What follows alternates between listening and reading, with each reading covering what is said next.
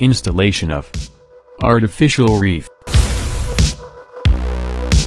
The Philippines has approximately 27,000 square kilometers of coral reefs. Over the years, however, coral reefs began to vanish. Destructive fishing methods and overfishing all contribute to the massive destruction of the country's once healthy coral reefs. Because of this, tens of thousands have been installed in various parts of the country, to provide the ecological functions that were lost with the destruction of coral reefs. Installation of 20 artificial reef domes in Bacong Negros Oriental is a project conceptualized by Philippine Dental Association, Negros Oriental Chapter.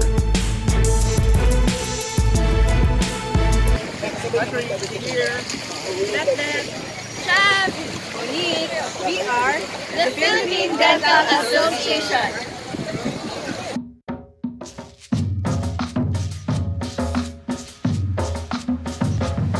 a collaborative effort, in cooperation with Metro Dumaguete Lions Club, Silliman Marine Lab, Bacong Local Government Unit, barangay officials and the community, professional divers, and volunteers as well.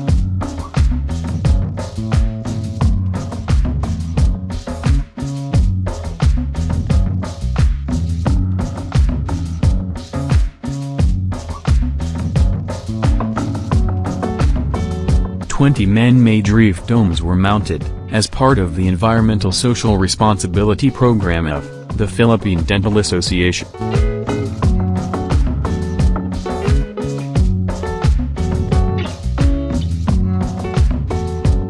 These domes are much better and sustainable than those of waste materials commonly used for building reefs.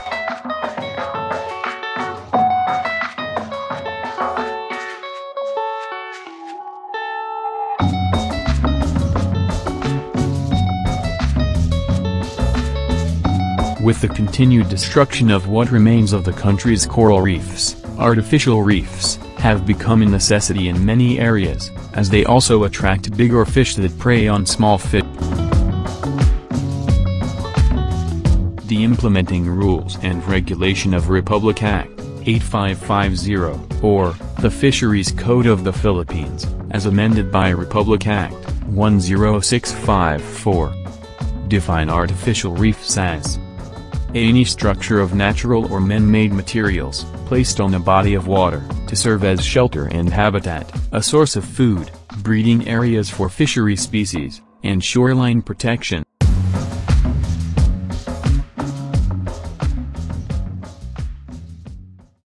To the proponents of future artificial reef projects, are advised to consult experts, and follow the guidelines formulated for the purpose.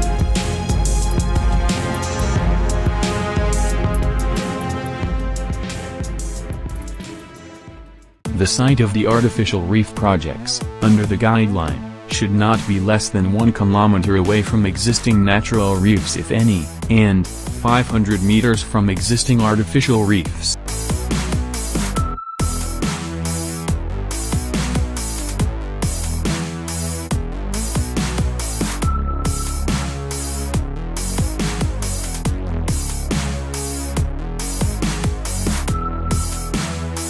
The site should also be near alternative food sources such as seagrass beds, and must be constructed on a flat barren area of relatively good visibility, and at depth protected from wave action.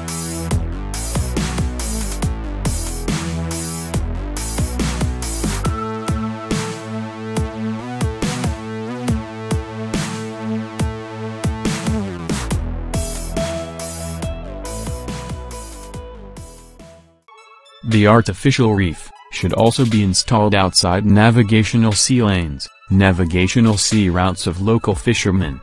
Some materials used include old tires, junk vehicles, or sea crafts. However, these materials are no longer recommended. Concrete domes, block or culverts, and limestone or rocks must be used.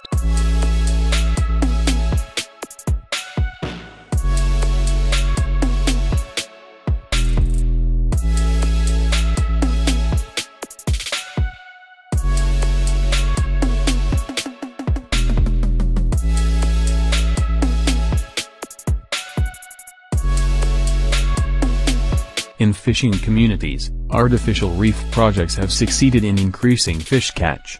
As artificial reefs act like fish aggregating device that recruits fish from other areas, hence, increasing fish density in a particular area.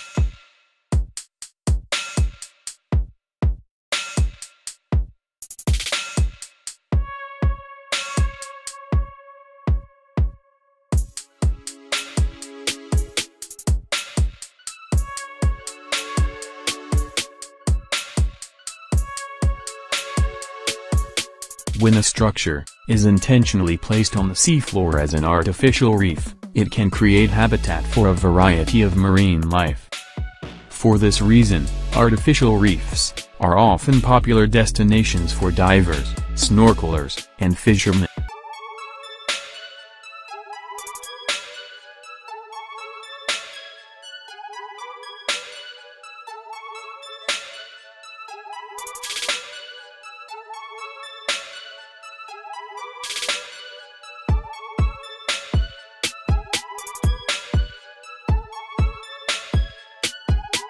Today, many local government units or LGUs, the private sector, and non-governmental organizations continue to engage in artificial reef projects as part of coastal resource management programs, basically, to increase fish catch. Each one of us play an active role in biodiversity protection and conservation. We can help by refraining from doing any destructive activities that undermine the food production capacity of coastal and marine resources.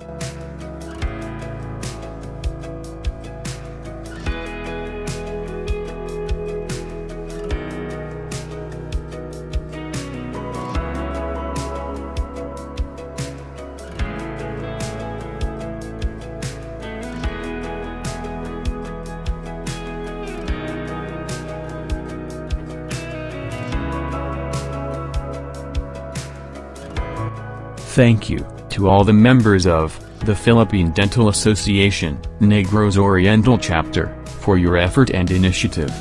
And, kudos to everyone who made this enriching and life-fulfilling experience achievable. The realization of this project wouldn't be a success without your valued full support.